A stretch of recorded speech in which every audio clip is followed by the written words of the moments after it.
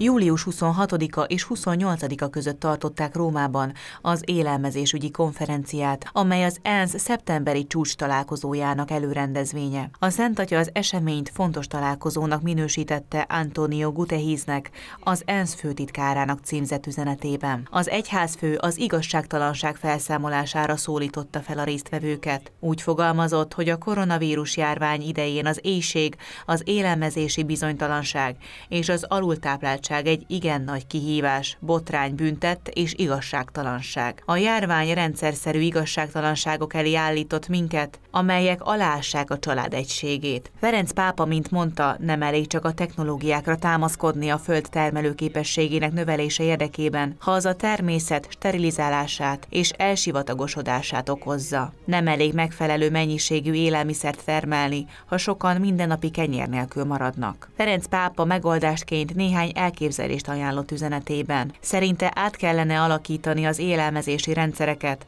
hogy azok környezetvédelmi szempontból fenntarthatóak legyenek. Céljuk az legyen, hogy erősítsék a helyi gazdaságokat, javítsák a táplálkozás minőségét, csökkentsék az élelmiszerpazarlást, és mindenkinek hozzáférhető, egészséges élelmiszerellátást biztosítsanak. Ferenc pápa hangsúlyozta, hogy a változásnak belülről kell elindulnia, ugyanis az éhezés nem a nagymértékű élelmiszer előállítástól fog megszűnni, hanem egy új mentalitásnak, gondolkodásmódnak köszönhetően.